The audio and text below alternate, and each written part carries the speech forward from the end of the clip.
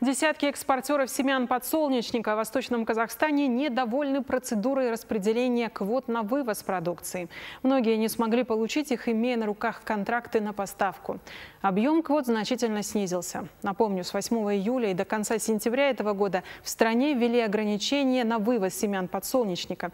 На такие меры пошли в, целых, в целях обеспечения продовольственной безопасности, сообщили в Министерстве сельского хозяйства. Как ситуация влияет на международные и внутренние рынки? Скажется ли на стоимости подсолнечного масла? Разбиралась Жанна Сулханова. Предприниматели, занимающиеся поставкой семян подсолнечника в Восточном Казахстане, недовольны распределением квот. Они говорят, что портал для подачи заявок был открыт в пятницу 8 июля, а в понедельник к обеду все квоты были распределены. В выходные фитосанитарные документы не оформляют.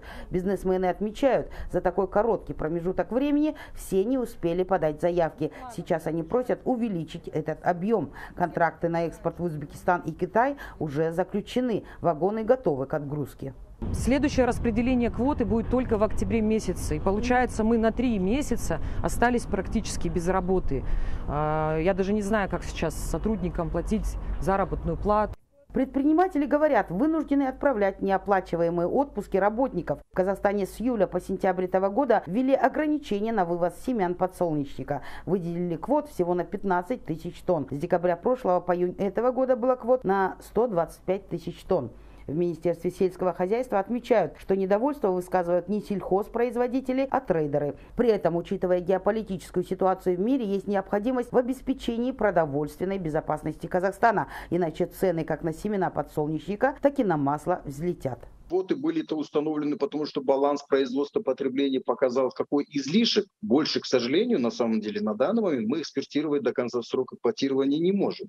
Но когда закончится срок квотирования, тогда уже на рынок поступит новый урожай. И тогда уже, возможно, без каких-либо ограничений экспортеры и фермеры смогут экспортировать семечко и масла.